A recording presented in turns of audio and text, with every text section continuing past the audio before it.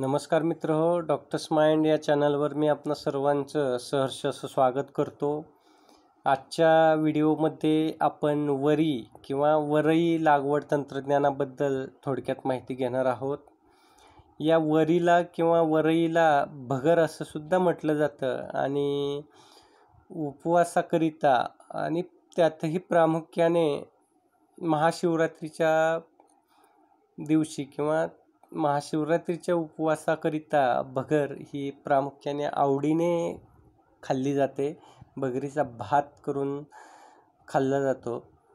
तर अशी ही भगर किंवा वरी ही डोंगराळ प्रदेशात किंवा दुर्गम प्रदेशात राहणाऱ्या लोकांचं प्रमुख अन्न आहे. तर अशा या वरी लागवडीच्या तंत्रज्ञानाबद्दल आपण थोडक्यात माहिती घेणार आहोत. आज या पिकाला धार्मिक महत्त्व तर होतंच पण यामध्ये असलेल्या पौष्टिक घटकांमुळे सुद्धा अगदी शहरांमधील सुद्धा बरेच जण या पिकास किंवा या कडधान्यास प्राधान्य द्यायला लागलेले आहेत. या वरीच्या धान्यामध्ये स्निग्ध पदार्थ तंतुमय पदार्थ खनिज व लोह या मूलद्रव्यांचे प्रमाण हे चांगले आहे आणि याची जर भाकरी खाल्ली तर यामुळे पित्त होत नाही. त्यामुळे आता अलीकडील काळात बऱ्याच लोकांचा कल या पिकाकडे वाढताना दिसून येत आहे. तर अशी ही वरी अगदी हलक्या जमिनीतही सॉरी चांगल्या प्रकारे येते. तर त्यासाठी जमिनीची चांगली उभी आडवी पाळी घालून मशागत करून घ्यावयाची आहे. आणि हेक्टरी आठ ते दहा टन चांगलं कुजलेलं शेणखत शेवटच्या पाळीपूर्वी टाकून ते चांगलं मिसळून घ्यावयाचं आहे. आता सुधारित जातींचा विचार जर केला तर महात्मा फुले कृषी विद्यापीठ राहुरी यांनी फुले एकादशी ही हे सुधारित वाण काढलेलं आहे आणि याची शिफारस केलेली आहे. हे वाण उशिरा पक्व होणारा असून एकशे वीस ते एकशे तीस दिवसात काढण्यास तयार होतं. आणि हे मध्यम वाढणारं असून खाली लोळत नाही. त्यामुळे हे जास्त लोकप्रिय आहे. आता या पिकाची पेरणी ही टोकन पद्धतीने आणि रोप लागवड करूनसुद्धा केली जाते.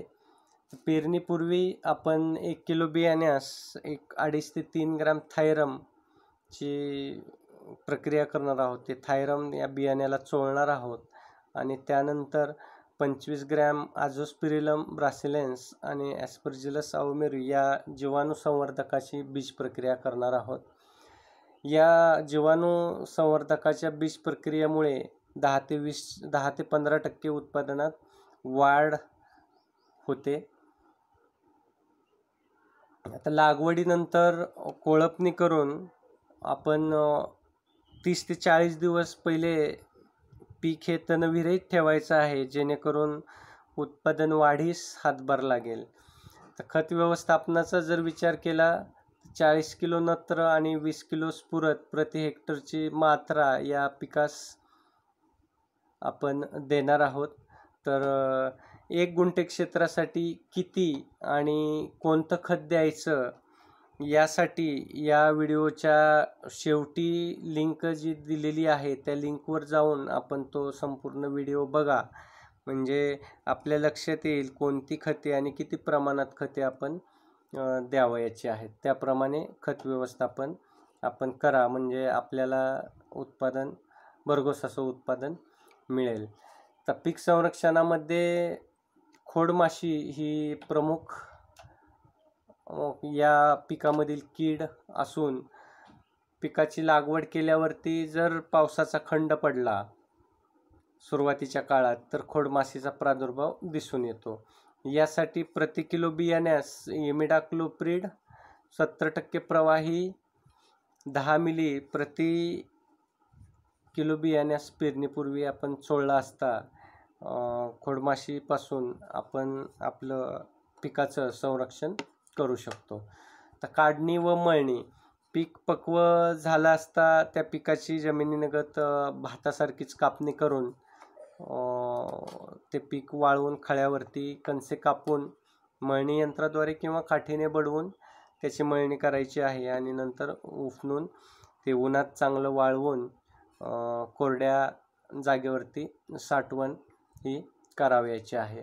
अशा प्रकारे आपण लागवड के करून जर खत व्यवस्थापन आणि तण व्यवस्थापन व्यवस्थित केलं तर जवळपास दहा ते बारा क्विंटल प्रति हेक्टरी उत्पादन आपणास मिळू मिळू शकतं. मित्र हो व्हिडिओ आवडला असल्यास व्हिडिओला लाईक करायला आणि शेअर करायला विसरू नका. धन्यवाद.